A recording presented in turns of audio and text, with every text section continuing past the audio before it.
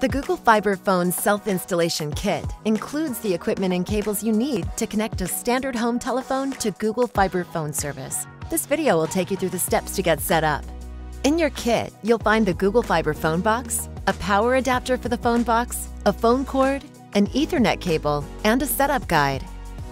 You'll connect your Google Fiber phone box to your router before you plug in your phone. The phone box can work with many types of routers, including all those from Google Fiber. For this video, we'll use Google Wi-Fi as an example.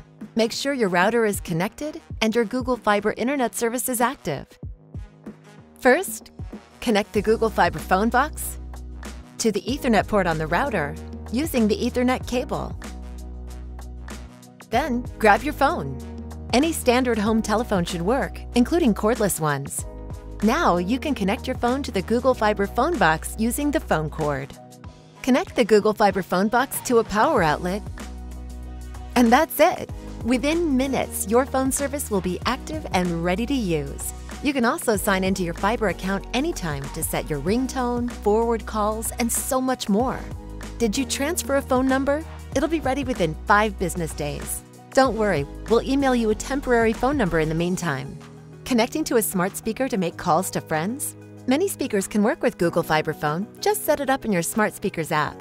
Need help? Visit our help center at support.google.com/fiber or contact us through the Google Fiber app.